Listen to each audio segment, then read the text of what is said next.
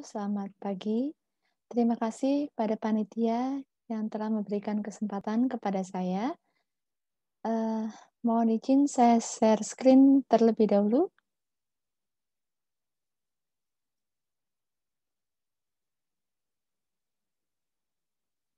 Ya. Uh, pagi ini saya mendapat tugas untuk menyampaikan topik mengenai gagal napas pada gagal jantung akut dan pemberian uh, terapi oksigen. Berikut adalah topik-topik yang akan saya sampaikan, yaitu mengenai gagal jantung akut, gagal nafas akut, dan eskalasi terapi oksigen secara cepat. Sebagai pendahuluan, studi multicenter yang dilakukan di Amerika yaitu Acute Decompensated Heart Failure National Registry, yang melibatkan 100.000 pasien, mendapatkan data 5% dari total kohort dan 23% dari pasien yang masuk ke ICU membutuhkan invasive mechanical ventilation. Studi yang dilakukan di Eropa yang melibatkan 3.580 pasien, yaitu Euro Heart Failure Survey the Second, menghasilkan data 5,1 persen pasien dengan new onset ADHF membutuhkan invasive mechanical ventilation dan 13,9 persen membutuhkan support ventilasi baik non-invasif maupun invasif. Seperti kita ketahui bersama bahwa gagal jantung akut merupakan perburukan keluhan dan atau gejala dari gagal jantung. Berdasarkan guideline ESC tahun 2016, eh, ada berbagai klasifikasi untuk gagal jantung akut. Salah satunya adalah berdasarkan onset dibagi menjadi de novo dan acutely decompensated chronic heart failure. Berdasarkan tekanan darah, gagal jantung akut dapat dibagi menjadi hipertensif, normotensif, dan hipotensif. Berdasarkan profil hemodinamik, kita mengenal klasifikasi Forrester yang membagi gagal jantung menjadi eh, empat kelompok berdasarkan adanya kongesti dan hipoperfusion. Empat kelompok tersebut adalah warm and dry, warm and wet, cold and wet, and cold and dry. Pasien gagal jantung akut yang datang biasanya disertai dengan faktor pencetus. Dalam kondisi emergensi, faktor pencetus dapat disederhanakan menjadi lima etiologi, yaitu sindrom koroner akut, hipertensi emergensi, aritmia, dan kausa mekanik akut, serta emboli paru. Berbagai faktor pencetus tersebut dapat menyebabkan disfungsi miokard yang akan menimbulkan kerusakan miokard, kemudian disfungsi endotel yang akan menyebabkan vasokonstriksi, aktivasi neurohormonal, inflamasi dan stres oksidatif yang akan membuat aktivasi dari RA sistem, dan disfungsi renal yang akan menimbulkan retensi natrium dan cairan. Kesemuanya itu pada akhirnya akan membuat abnormalitas hemodinamik, disfungsi organ, dan kongesti. Pasien gagal jantung akut dapat mengalami gangguan baik pada preload, afterload, maupun contractility, tergantung penyakit yang mendasari. Bila penyakit yang mendasari adalah hipertensif krisis misalnya, maka terutama yang terganggu adalah peningkatan afterload karena ada peningkatan tekanan darah. Bila faktor yang mendasari adalah penyakit perikat, maka yang terjadi adalah penurunan preload yang menyebabkan gangguan pengisian ventricle. Pada sindrom koroner akut, misalnya infak miokard akut, yang terganggu terutama adalah kontraktilitas. Hal ini disebabkan karena terjadinya kerusakan miokard. Bila faktor yang mendasari adalah kelebihan konsumsi garam dan air, ketidakpatuhan terapi, disfungsi renal, regurgitasi katup akut, demam, ataupun hipertiroid, yang terjadi adalah peningkatan preload yang menyebabkan overload cairan. Secara garis, secara garis besar, gagal jantung akut dibagi menjadi cardiac type dan vascular type. Cardiac type biasanya mekanisme yang mendasari adalah cardiac output yang rendah yang menyebabkan aktivasi neurohormonal, retensi natrium dan air, dan retensi cairan yang menimbulkan kongesti perifer dan pulmonal. Uh, untuk yang vascular type, mekanisme yang mendasari adalah vasokonstriksi yang menyebabkan peningkatan afterload, peningkatan venous return, peningkatan tekanan di ventricle kiri, dan redistribusi cairan yang menyebabkan kongesti pulmonal. Jadi manifestasi utama dari gagal jantung akut adalah e, kongesti. Kongesti yang menyebabkan gagal napas terutama adalah odema paru. Kita mengenal dua tipe e, odema paru yaitu cardiogenic pulmonary edema non dan dan non cardiogenic pulmonary edema. Apa aja perbedaannya? Untuk cardiogenic pulmonary edema, terutama yang terjadi adalah peningkatan tekanan hidrostatik yang menyebabkan penyerapan cairan masuk ke dalam alveol. Sedangkan yang non-cardiogenic pulmonary edema, tekanan hidrostatiknya normal. Tapi yang terjadi adalah kerusakan endotel dan peningkatan permeabilitas sehingga terjadi kebocoran dan masuklah mediator-mediator inflamasi dan cairan ke dalam alveol. Odema paru akan menyebabkan gagal napas akut. Secara per definisi, gagal napas akut merupakan ketidakmampuan dari sistem respirasi dalam memenuhi oksigenasi, ventilasi, atau metabolik dari kebutuhan metabolik dari pasien. Jadi yang perlu kita ingat ada lima faktor yang mempengaruhi gagal napas, yaitu sistem respirasi itu sendiri, oksigenasi, ventilasi, metabolik, dan pasien. Mengingatkan kembali tentang fisiologi respirasi, ada tiga proses dalam proses respirasi, yaitu ventilasi, difusi, dan perfusi. Ventilasi terdiri dari inspirasi dan ekspirasi. Inspirasi adalah masuknya udara luar ke dalam rongga dada karena eh, tekanan di rongga dada lebih rendah daripada udara luar. Sedangkan ekspirasi adalah keluarnya udara dari rongga dada karena tekanan di rongga dada lebih tinggi dibanding tekanan udara luar. Sedangkan difusi adalah pertukaran gas antara tekanan tinggi ke tekanan rendah dibagi menjadi respirasi eksternal, yaitu pertukaran gas yang terjadi antara alveol dan kapiler, dan respirasi internal adalah pertukaran gas yang terjadi antara kapiler dengan sel. Kemudian proses yang terakhir adalah perfusi, yaitu aliran darah ke jaringan dan organ. Alveol akan mendapatkan aliran dari kapiler, sehingga difusi dapat terjadi. Bagaimana mengukur ventilasi adalah dengan uh, spirometri.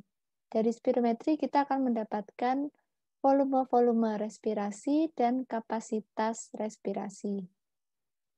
Yang biasa kita gunakan pada terapi oksigen adalah uh, tidal volume di mana tidal volume adalah jumlah udara yang masuk dan keluar dalam uh, setiap kali uh, nafas pada kondisi istirahat.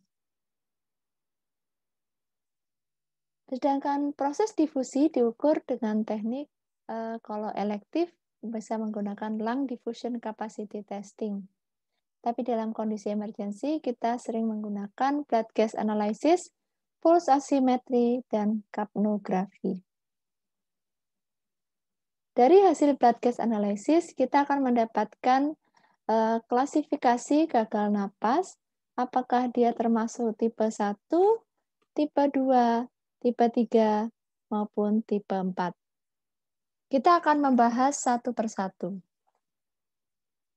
Tipe 1 merupakan hypoxemic respiratory failure, di mana kita mendapatkan eh, PaO2 kurang dari 60. Berbagai faktor penyebabnya antara lain adalah uh, rendahnya FiO2, hipoventilasi, PQ mismatch, shunt, dan diffusion abnormality.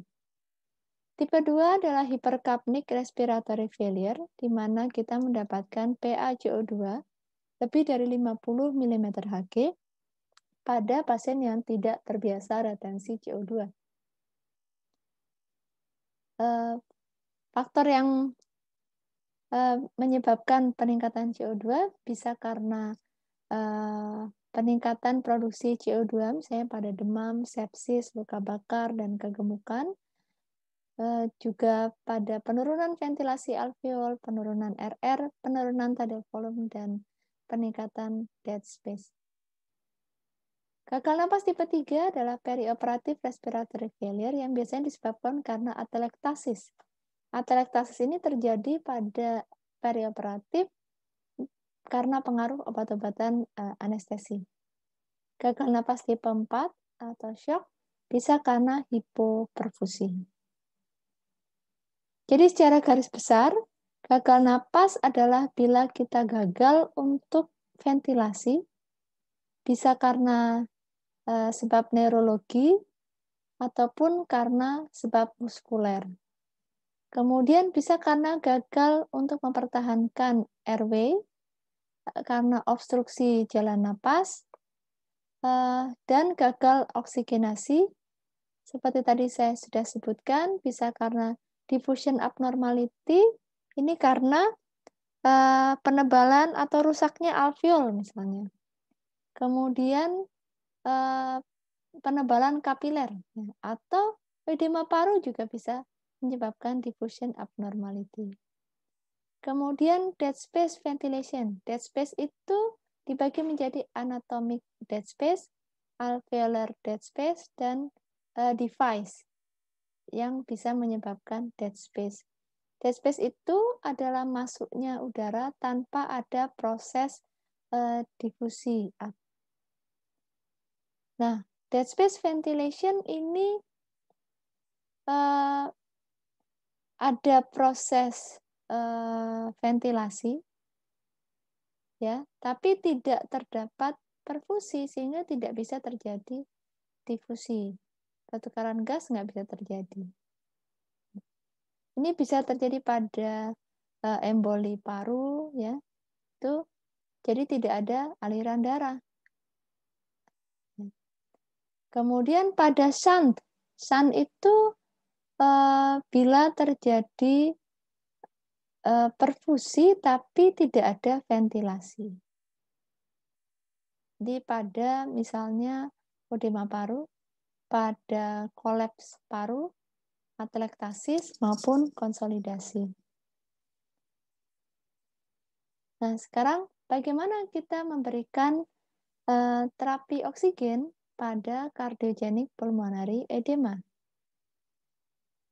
Ini adalah strategi terapi oksigen uh, terintegrasi dan bagaimana manajemen dari gagal napas akut mulai dari terapi oksigen standar, high flow nasal oksigen terapi, non-invasive ventilation, invasive ventilation, dan pada akhirnya uh, kita menggunakan extracorporeal membrane oxygenation atau ECMO. Kita akan bahas satu persatu. Uh, pemberian terapi oksigen melalui nasal kanul. Ini adalah uh, teknik uh, yang menggunakan aliran uh, lambat ya dengan konsentrasi oksigen yang rendah dan sirkuitnya merupakan sirkuit terbuka. Jadi kadar oksigen 100% yang dihantarkan melalui kanul itu dengan kecepatan setengah sampai 6 liter per menit. Hasil kadar oksigen yang dihasilkan e, tergantung pada minute ventilation dan biasanya e, konsentrasi oksigen di trakea maksimal tidak lebih dari 50%. Biasanya diberikan pada pasien yang stabil yang tidak memerlukan kadar oksigen tinggi. Bila tidak berhasil dengan nasal kanul, kita bisa memberikan high flow humidified oxygen nasal kanul atau HFNC. HFNC diberikan pada uh, pasien yang membutuhkan konsentrasi oksigen medium hingga high. Ada tiga komponen yang diperlukan di sini, yaitu uh, sirkuit yang uh, terhubung dengan pasien, kemudian sirkuit untuk penghantaran gasnya, dan humidifier. Aliran yang diberikan bisa sampai 60 liter per menit. Uh, eh, HFNC ini bisa menjadi alternatif untuk terapi masker reservoir pada gagal napas akut yang tanpa hiperkapni. Jadi gagal napas tipe 1. Ada lima uh, mekanisme dari HFNC, uh, e, yaitu dia menggunakan uh, gas yang dilembabkan dan dipanaskan. Kemudian dia menggunakan aliran tinggi sehingga dapat mengurangi dead space dan resistensi di nasal. HFNC juga dapat memberikan tekanan positif sehingga bisa mengembangkan alveol yang mungkin kolaps karena atelektasis. Kemudian eh, HFNC, kalau kita menggunakan kanul yang tepat, maka tidak akan ada udara yang bocor karena semua akan masuk eh, ke dalam nasal. HFNC dapat mengurangi kejadian eh, injuri dari paru yang biasa disebabkan karena tekanan positif. HFNC juga bisa memperbaiki oksigenasi dan akan lebih nyaman untuk pasien karena bentuknya adalah sirkuit terbuka sehingga dia masih bisa melakukan aktivitas.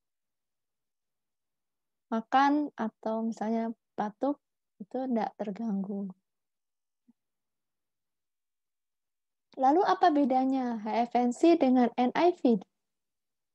Perbedaan utama antara HFNC dan NIV adalah di tekanan positif yang diberikan. Setinggi-tingginya HFNC, tekanan positif yang didapat tidak lebih dari 6 cm H2O. Tapi kalau kita menggunakan NIV, kita bisa menggunakan atau memberikan PIP yang lebih tinggi, lebih dari 6 cm H2O.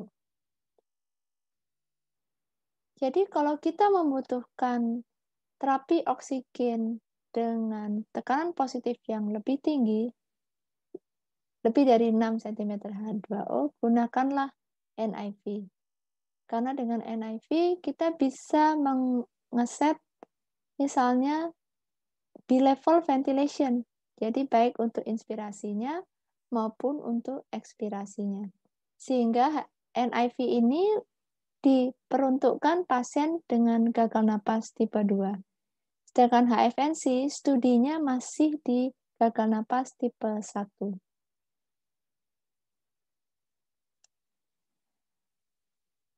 Nah, berikutnya kita dapat menggunakan masker.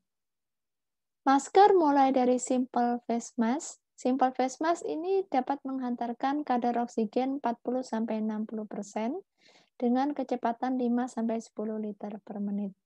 Di mana kadar oksigen yang dihasilkan akan sangat tergantung dengan kecepatan nafas, tidal volume, dan patologi dari pasien. Eh, masker ini diindikasikan untuk pasien yang mengalami iritasi dari nasal atau epistaksis atau pasien yang eh, lebih banyak bernapas lewat mulut. Namun masker ini bisa menjadi tidak nyaman untuk pasien karena dia akan menghalangi pasien batuk, berkomunikasi, ataupun untuk makan. Dan bisa mengindus aspirasi pada pasien yang tidak sadar. Sehingga simple mask ini dianjurkan penggunaannya hanya untuk beberapa jam saja.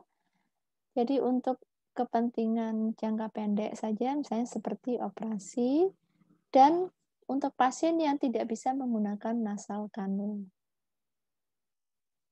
Ini adalah masker yang sering kita gunakan ya, adalah non-rebreathing mask. Merupakan masker yang uh, dapat menghantarkan oksigen uh, high flow dengan aliran tinggi dan oksigen tinggi, tapi dia merupakan sirkuit terbuka.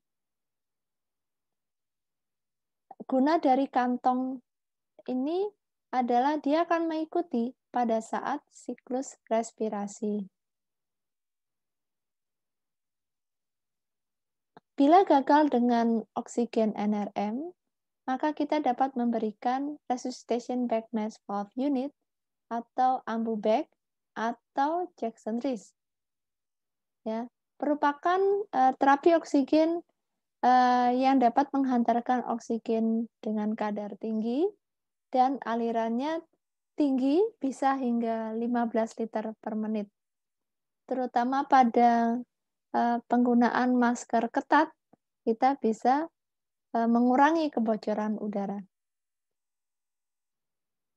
Bila tidak berhasil dengan nasal kanul, HFNC, maupun uh, masker NRM, maka kita harus berpikir untuk pemberian non-invasive positive pressure ventilation atau NPPV. Uh, eh, NIV ini dibagi menjadi uh, CPAP dan PPAP. CPAP itu continuous positive airway pressure, jadi secara continuous menyuplai tekanan positif, sedangkan BiPAP uh, dia bisa memberikan tekanan positif pada fase inspirasi, dan fase ekspirasi. Dan masing-masing bisa berbeda sesuai yang kita inginkan. Fase ekspirasi ini sama seperti kita memberikan PIP pada invasif ventilasi mekanik. BiPAP dapat mengurangi work of breathing, dapat mengurangi uh, uh, dap, uh, apa namanya, dapat meningkatkan tidal volume lebih tinggi daripada uh, CPAP dan dapat meningkatkan ventilasi pada pasien gagal nafas tipe 2. Nah, sekarang bagaimana pengaruh tekanan positif yang kita berikan pada ventricle fungsi dan cardiac output? Ternyata PIP ini seperti pisau bermata dua. Dapat menurunkan cardiac output dan juga dapat meningkatkan cardiac output. PIP dapat menurunkan cardiac output melalui mekanisme menurunkan venous return pada ventricle kanan, meningkatkan resistensi vaskular di pulmonal, meningkatkan dilatasi dari ventricle kanan, dan juga meningkatkan sistemik vascular resistance. Pada ventrikel kiri, PIP ini dapat menurunkan preload karena eh, rendahnya keluaran dari ventrikel kanan. Dan juga dapat menurunkan stroke volume karena ada interventricular dependent. Sedangkan PIP juga bisa dapat meningkatkan cardiac output melalui mekanisme penurunan hipoksia mediated pulmonary vasoconstriction, penurunan afterload dari ventricle kiri, penurunan preload dari ventricle kiri, dan penurunan dilatasi dari ventricle kiri, kemudian penurunan myocardial oxygen demand, penurunan pressure gradient dari torak ke perifer, dan peningkatan atau perbaikan dari tekanan hidrostatik yang menyebabkan edema alveol. Jadi eh, efek dari PIP, pemberian PIP pada cardiac output sangat tergantung pada fungsi ventrikel kanan dan fungsi ventrikel kiri, preload, afterload, dan uh, ventricular interdependent. Pada gagal jantung yang dominan gagal ventrikel kanan, um, PIP 5 sampai 15 cm H2O dapat menurunkan cardiac output dari ventrikel kanan. Dengan pasien gagal jantung yang dominan afterload dependent atau gagal jantung kiri, PIP 10 sampai 15 cm H2O dapat meningkatkan cardiac output. Jadi apa yang bisa kita lakukan pada edema paru? Kalau pada kalau kita menerima pasien edema paru dengan gangguan respirasi dengan saturasi kurang dari 92%, kita dapat memberikan terapi oksigen standar terlebih dahulu. Bila terdapat persisten respiratory distress, uh, maka kita dapat memberikan non-invasive ventilation. Kalau dengan oksigen terapi standar e, membaik, kita bisa meneruskan terapi oksigen standar tersebut. Tapi kalau tidak, kalau ada kontraindikasi NIV, kita harus langsung berpikir invasive mechanical ventilation. Tapi kalau nggak ada kontraindikasi NIV, kita melihat apakah pasien ini gagal jantung, eh, maaf, gagal napas tipe 1 atau hipoksia saja, itu dapat diberikan CPAP ataupun HFNC. Kalau hipoksia dengan hiperkapni atau gagal jantung tipe 2, dapat diberikan BiPAP. Bila membaik, dapat diberikan NIV intermittent bergantian dengan terapi oksigen. Tapi bila tidak membaik dalam 60 menit, maka kita harus berpikir pemberian terapi invasif mechanical ventilation. Nah, mechanical ventilation indikasi utamanya adalah gagal napas, terutama yang gagal napas tipe 2 atau akut hypercarbonic respiratory failure. Jadi pasien dengan gagal jantung akut, kita harus mempertimbangkan ada apa tidak indikasi untuk uh, penggunaan invasive mechanical ventilation, yaitu severe hypoxia, adanya increase uh, work of breathing, kemudian gagal dalam pemberian NIV, adanya hemodynamic instability uh, dan keperluan misalnya pasien itu perlu menggunakan support sirkulasi yang dikombinasi dengan support respirasi. Kemudian pasien pasca henti jantung atau ROSC itu juga bisa diberikan invasif ventilasi mekanik. Kita bisa memberikan setting ventilator di awal dengan uh, mode kontrol, apakah itu pressure control atau volume control. Nah, sekarang bagaimana kita mengadjust PIP-nya atau tekanan positifnya.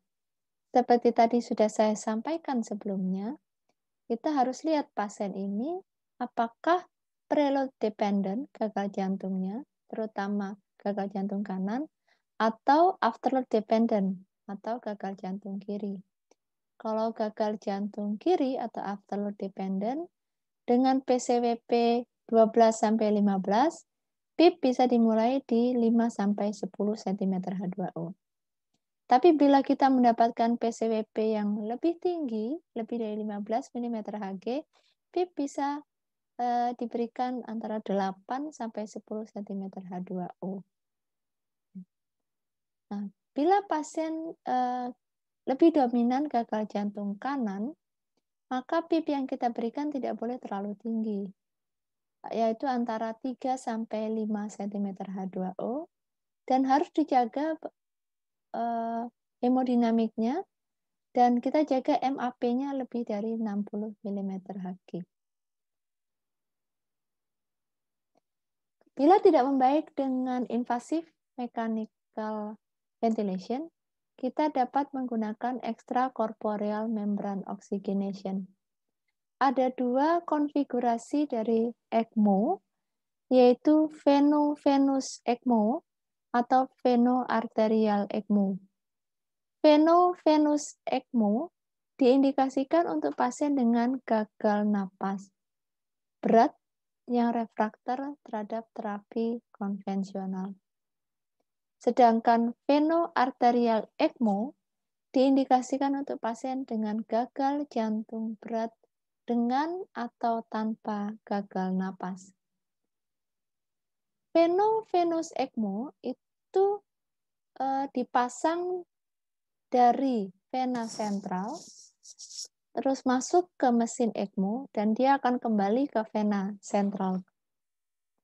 Sedangkan veno-arterial ECMO dipasang dari vena sentral, darah masuk ke mesin ECMO, kemudian mas kembalinya ke arteri sentral atau aorta bisa. Indikasi dari ECMO ada indikasi respiratori dan kardiak. Kalau indikasi respiratori adalah pada gagal napas berat dengan hipoksemia dengan severe ARDS, ya, PaO2 eh, per FiO2-nya kurang dari 100 mm Hg. Kemudian kalau cardiac indication antara lain adalah cardiogenic shock, cardiac arrest, pre atau post heart transplant, kemudian tidak bisa winning dari cardiopulmonary bypass, dan lain-lain.